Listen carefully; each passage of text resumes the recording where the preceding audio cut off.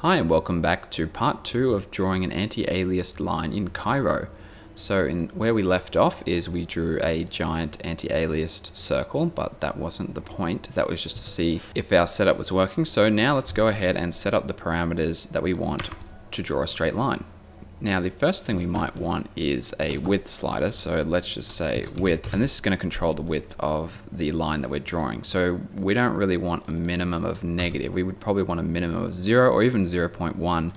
Then a maximum, things can get a bit funky if you set this too high with Cairo, but it can draw very thick lines. And then these are just the display min and maxes for those. So I'm going to just set them to the same and a default line thickness of say 15 and then let's identify this as width ID. I think we talk about these more in depth in the first lesson. I'm just going over these briefly because they're not that interesting.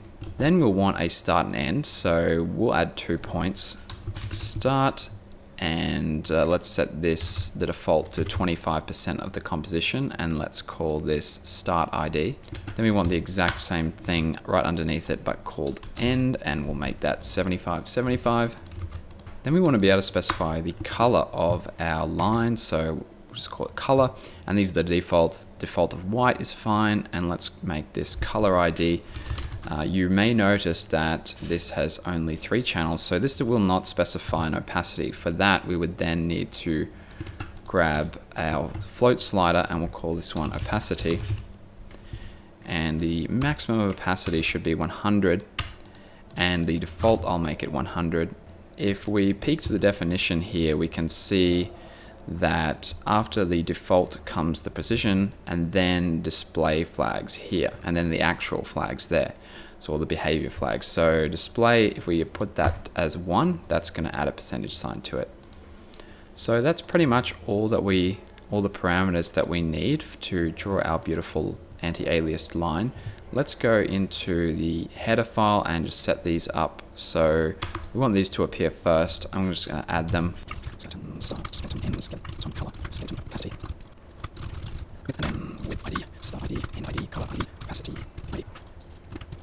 That is the two enumerations we have here. And if we go back to our param setup, all the errors should be gone regarding these IDs. So now we use the other enumeration to actually specify the values. So we want a slider, two sliders. One will be the width, and that's going to be skeleton width.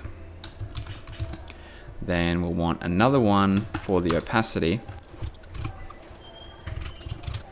And this one here, uh, as we can see in Cairo, Cairo wants the opacity from 0 to 1, so let's just multiply this by 0.01 because otherwise the opacity will be 100 when it, it ought not to be. Then what we can do is initialize a pf rect, actually a pf, I believe it's a, a float rect, uh, and we can call this start, and that's going to be equal to, again, if you checked out the first one, the point definitions are stored as fixed, so we need to convert them to float. So if we wrap this in that macro, we can then go skeleton start, and then that'll be utd.x. Uh, and then for the y value, it's exactly the same, but the y value. And then we want another rectangle for the end and then that would just be skeleton end.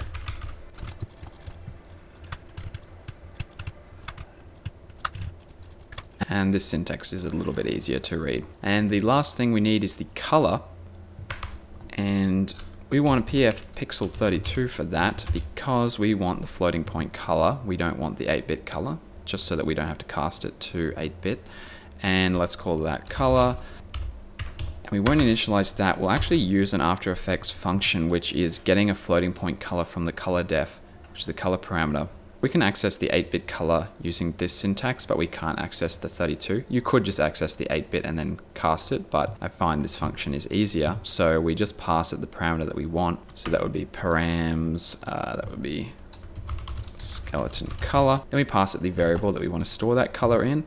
And there we go. So now what we can do is set the source RGBA to color.red, green, blue, and then opacity. Now just to make sure everything's working, instead of passing this left, I want to test out our new parameter. So I'm just going to pass it the width and let's see how this goes. Okay, new comp, create a solid, let's add skeleton. Let's see how we go. We've got our new parameters here. Width controls the size of the circle. Opacity should be working. Yep, that looks good. We've got 50% gray, 50% white, and let's try a different color. Yep, that's working. Okay, that's all good. So now what we want to do is get back into coding. I've just noticed an error here. So if we go to the definition of a float rect, it's actually four points because it's specifying a rectangle. So that's my mistake. I meant to specify a float point because these are two-dimensional points. So start and end and just fix the syntax. Okay, now that we have all our parameters working, instead of drawing an arc and filling it, let's actually draw what we came here for. And to do that, what we're going to do is Cairo move to, and that's going to be, we're going to move to start.x and then start.y, and then we're going to go Cairo line to, and then basically the same, but it's going to be the end.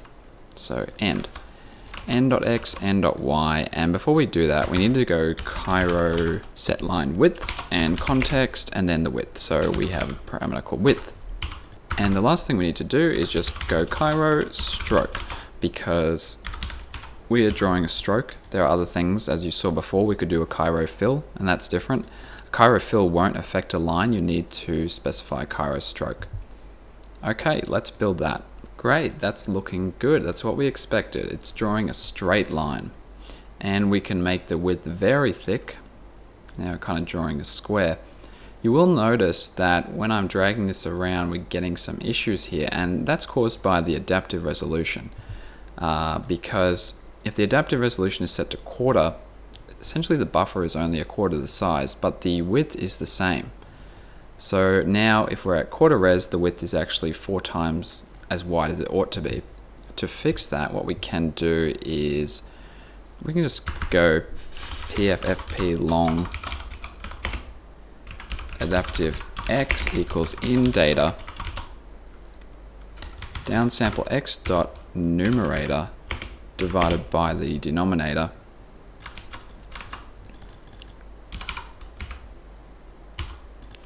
and then that's going to tell us what the adaptive res is and then we can multiply the width by that and it's going to make sure everything is looking the same regardless of what adaptive res you're on. But apart from that, there's our line. We can do better than that though. Let's go to Cairo and other cool things you can do with the line is you can add dashes. You can change the cap. Lots of options there. But I think the coolest thing you can do with a line is draw a curved line. And the way you do that is you specify the handles. Um, with our current line, we specified a start and an end. All we need to do is also specify the start and end of the handle. So if we look here, it goes, this is the code. You go Cairo move to, which is here, X and Y. Then the curve to takes the end of the first handle, X1, Y1, which is here. And then you specify X2, Y2, which is the end of this second handle and then x3, y3 is just the end of the line. And that's it. So the, the length of these handles here specify how much curvature there is. If we're going to do this, then we'll probably want another parameter. I'll just stop that and let's go to param setup. Let's add another float slider and this one's gonna be similar to opacity. It's gonna be curvature and the minimum is zero, the maximum can be a thousand, the display will be the same, and the default will be 50%, and we want the one here to specify it being a percent. Then we'll call this curvature ID, and go into the header,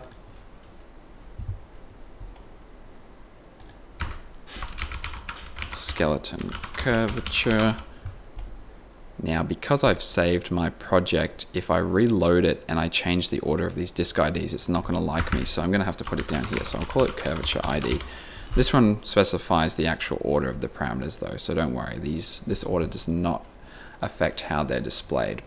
Then in the render settings, I'm going to get another float, call this curvature skeleton curvature.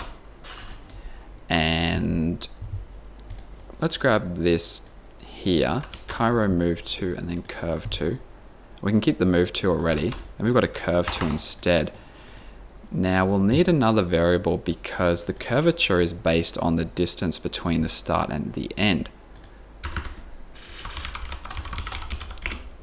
So create another float and call it distance, and this is going to be the start.x minus the end.x. That's going to tell us how far apart these, the start and the end are. Then we're going to use the same coordinates for the start of the curve or the, um, the handle. However, this is going to be plus distance. Then we're going to use n dot x, n dot y, and those again. And then on the end, that's also going to be plus distance.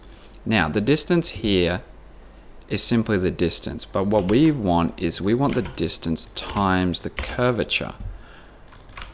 And so we go start x minus end x times curvature. Now this curvature here is a value that is a percent. Uh, we do not want that as a percent in here. We want this as a 0 to 1 or 1 being 100%. Otherwise this curvature is going to go crazy. And if we go back here we can see that drawing these helper lines help us understand the result that we're getting if we're getting an incorrect result. I'm going to copy that because that's really helpful for debugging. After we did this stroke, now we're going to draw helper lines.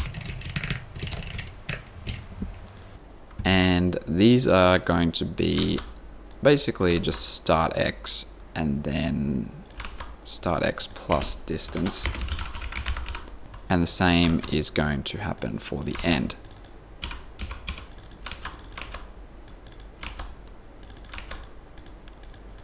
Okay, let's run this and see how we go with our fancy curved line. Alright, I think I've made a mistake. Curvature, curvature at zero looks good, it's got a straight line, but if we increase the curvature, we can see with these handles that, whoops, something's not right. And I think I've made multiple mistakes to get to where I am now. However, we did fix the adaptive resolution. No, we didn't even fix that. Let's see where we went wrong. I think that the distance actually needed to be end x minus the start x times the curvature. That will fix the issue of our handle at the start going the wrong way. The handle going the wrong way for the end is because this is our start coordinate. Then we want to go to then we want to go to the end of the handle, which is start x plus distance, which we did. However, then we need to go to the end of the second handle and then to the start of the end handle. I did that the wrong way. So we'll cut this. We go end x plus distance, end y, and then to the end. Hopefully that will fix all our mistakes. And that did not fix all of our mistakes, it fixed some of them. Curvature 0, looking good. Curvature 100, also looking good, except for this one here. This one needs to be minus, minus distance, not plus distance. I'm just making a ton of errors today, I apologize for that. Um, and also this adaptive res looking very funky. Let me just check if my adaptive X was correct. Uh, at full resolution, I want it to be 1, and then at quarter, I want it to be 0.05, so that I can multiply the width by that. Let me purge the memory and see. No. Okay, so in data, numerator... Okay, the reason that that didn't work is because these are integers, and 1 divided by 4 in integer is going to give you 0.25, but because it's an integer, it's not going to work. So we need to cast these And also, this adaptive X needs to be taken into consideration when we change the line width for our helper lines. Okay, take three. And incorrect again. At least our adaptive res is working. You can see the difference between full and quarter is the same result, just different resolution rather. It looks a bit blockier at quarter res. The result is correct, however my helper line is wrong, which is not very helpful. It is actually just confusing me. And that's because I was correct in going end x minus distance here, but when I was drawing the helper line I went end x plus distance, so a very confusing helper line. Okay, and there we have it. We finally have the correct result these handles change their size based on the curvature and the distance between the start and end point. If we go 100% curvature, it's going to be really curvy. Doesn't matter how big the line is, it's going to maintain its curviness. And if it's zero, we're drawing a perfectly straight line. What I would challenge you guys to do is, actually this is a pretty difficult challenge. Um, how can we make this, how can we do trim paths? How can we animate this? That one is a lot tougher than it seems, but it's doable. I challenge you guys to work that out and let me know how you went in the comments. In the next lesson, I think what we might do is draw this straight line, not the curved line, but a straight line on the GPU. And that's going to be really interesting. There's a lot of different things that need to happen there. And the advantage of drawing on the GPU, well, not everything's quicker to draw on the GPU, but if we draw it on the GPU, we can then introduce a Z component